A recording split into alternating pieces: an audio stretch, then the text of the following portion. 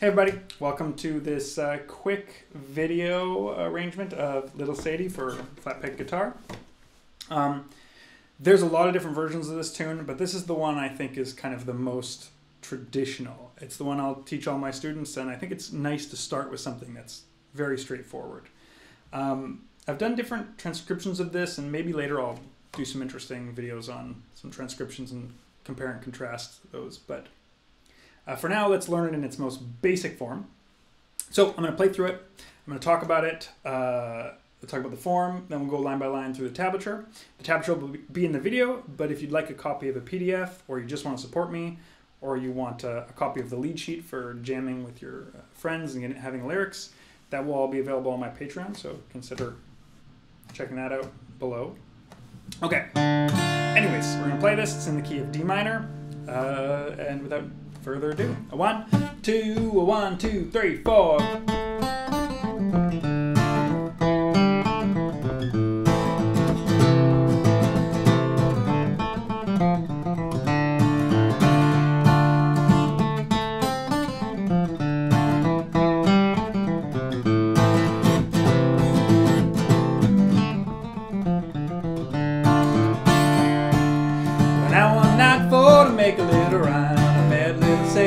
Shot down.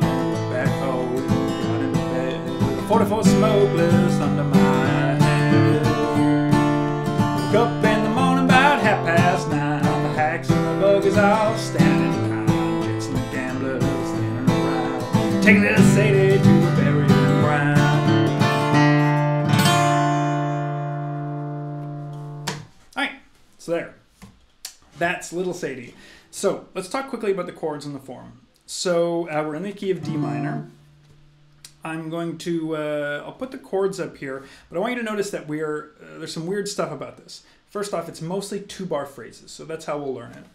So this song has a weird harmonic rhythm, which means the chords come at kind of like interesting places. Like normally you have, uh, generally speaking, chords kind of go long, short, short, or like uh, long, quick, quick, or whatever. Like you'll often go like you know G or D minor, A, D minor.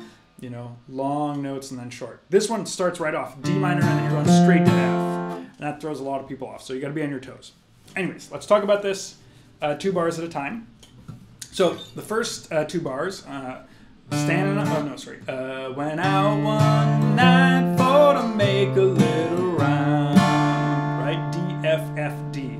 Now you'll notice a couple different things. Um, you could just play D and you go to this low F. Find it's a big jump from this uh, third string to the sixth string, so I tend to go to D and then go to this F, just a small one.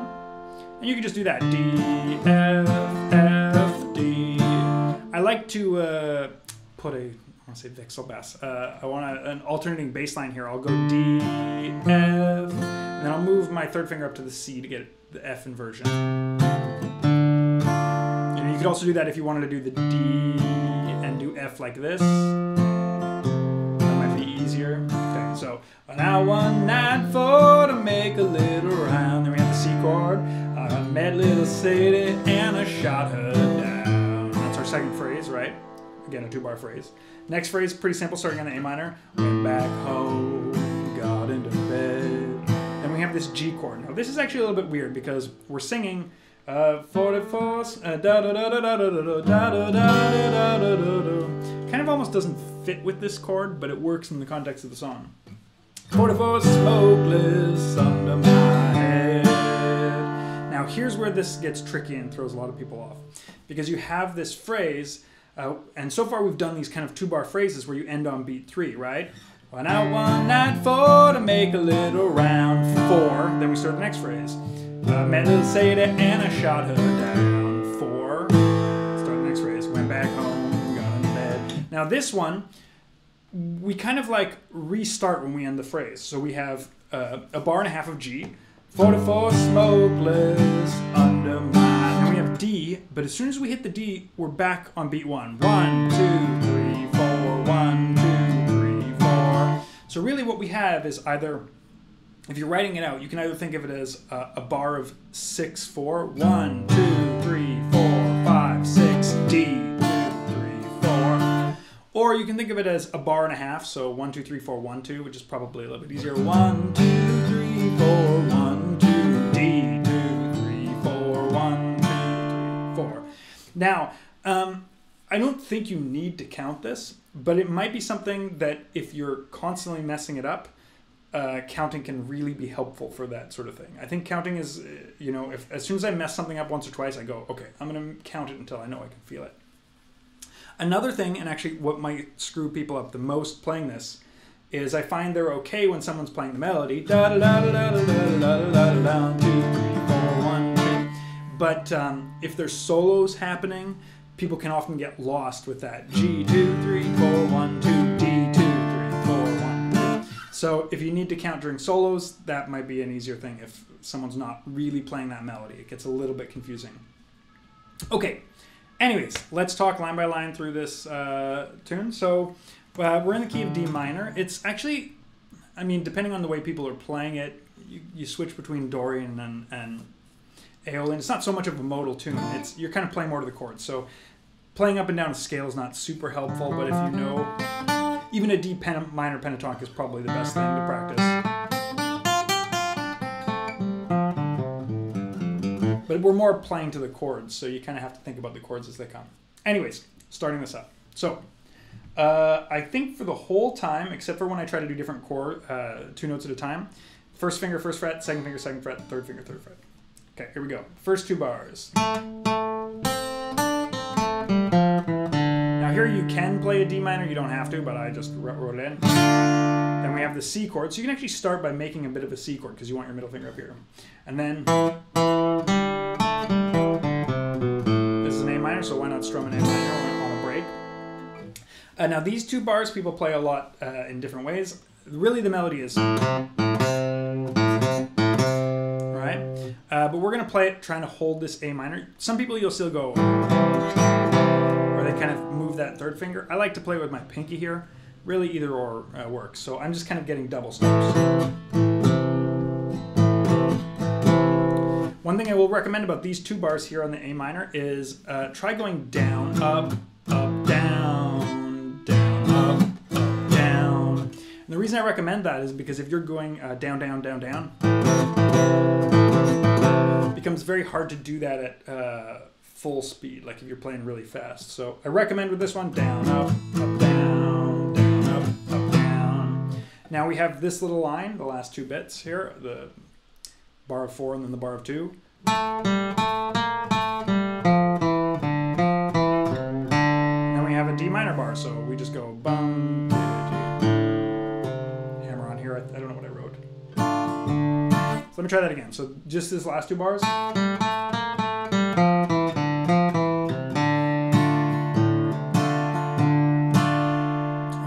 Notice, yeah, I kind of stick here and just play uh, in this position. You could also move up and get this with your first finger. Because we don't really need to get anything on the first string, so uh, first fret, so we can be in the second position there. One thing I'll say is often when I'm playing this, I like to get that G sound, and if I'm not playing with anyone, it's hard to get the G. So one thing I'll do is I will get this G note here and do this rake where I'm getting the G and the A.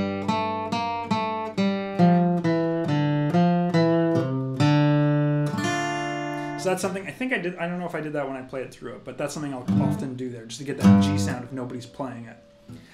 Um, so that's that tune. So before I played it at a slow tempo, let's talk about like quick things that you could do. So first off, you can add little pickups or extra notes. So for example, starting that off rather than just well, how do we get to this note? Well, we could literally just go from one note below in the scale. That helps. One, two, three, four. Maybe we add two notes. One, two, three, four, just chromatic. Three, four. Um, the other thing is, why not add some hammer-ons and pulse-offs? Right? I like, I recommend with this flat picking stuff to practice it first, really just getting all the notes picked, because that way you get more confidence in your picking. But once you you feel comfortable with it, try throwing hammer-ons and pulse-offs all over the place maybe that's the sound you want to go for. You're totally uh, able to do that. So try Uh, once you're comfortable with it, throwing in hammer-ons from open strings on pretty much any note. I'm getting a bunch of like Scotch snaps. Um, experiment around with that sort that sort of thing. Hammer-ons, pulls-offs, slide into notes. Um, if you want to get more chromatic things, it's kind of nice to throw these just chromatic passing tones between each.